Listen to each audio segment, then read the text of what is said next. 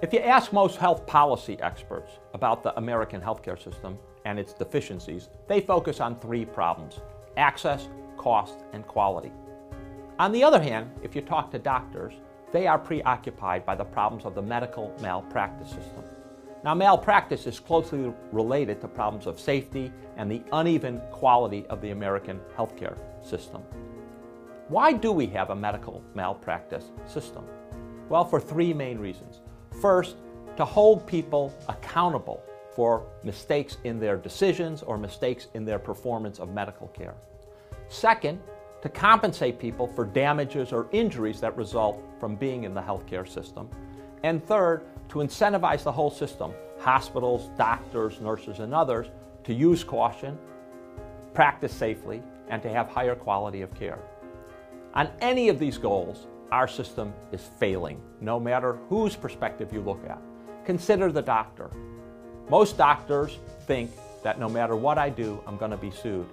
And recent studies show they're probably right.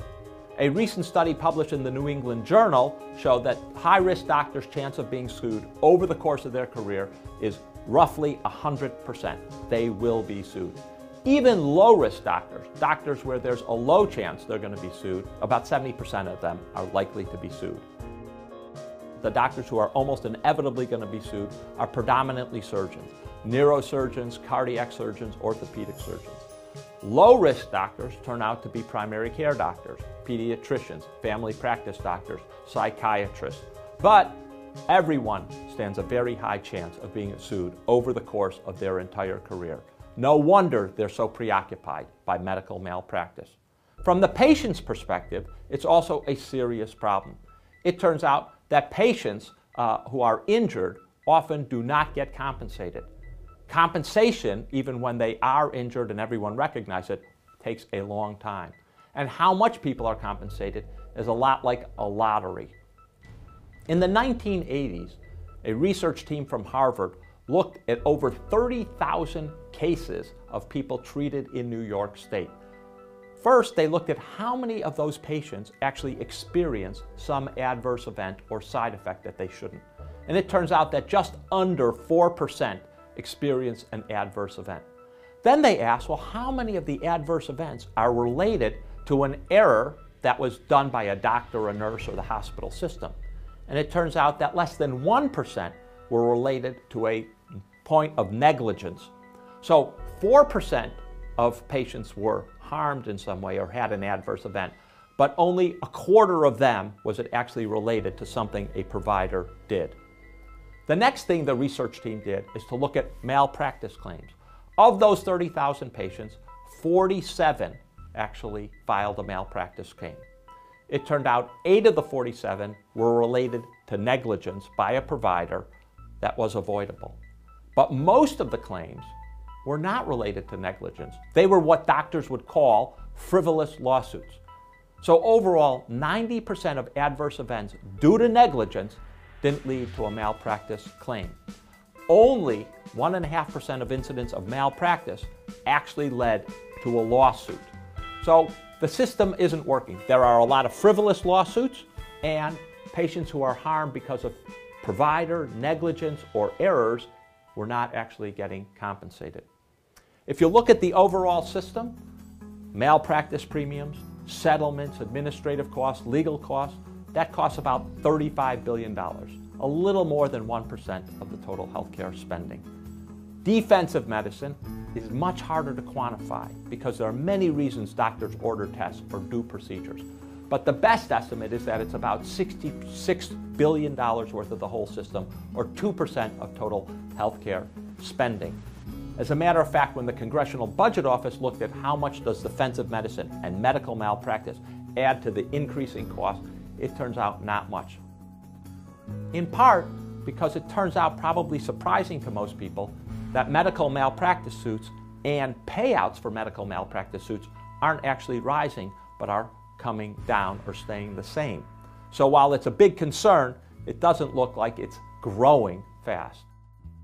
Nonetheless, we should still do something about our dysfunctional medical malpractice system, which isn't working for doctors and isn't working for patients.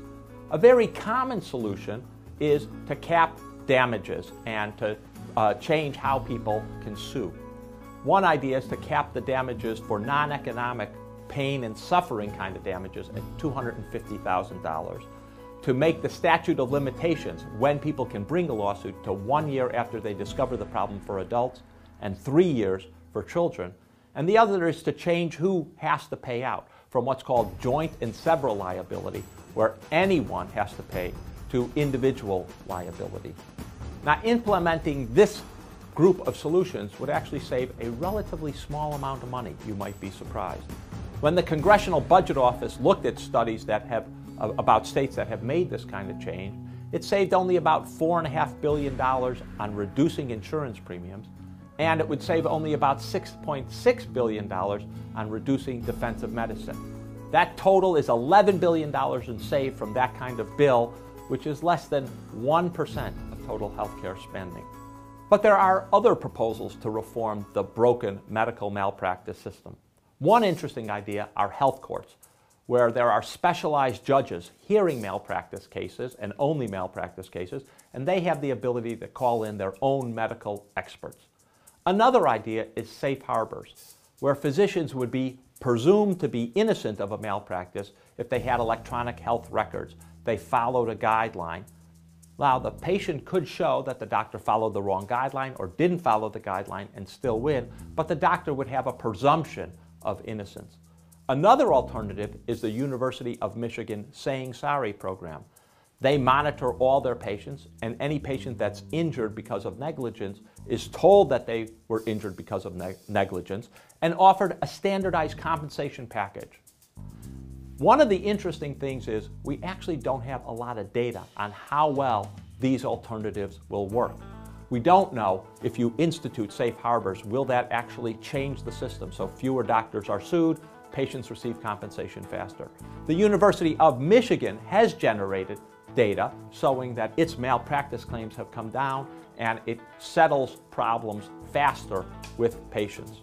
However, you look at it, whether it's access, cost, quality, the malpractice system, the American healthcare system is not working well. It needs to be reformed. Next, we're going to look at the 100 years of attempts at reforming the healthcare system, culminating in the passage of the Affordable Care Act.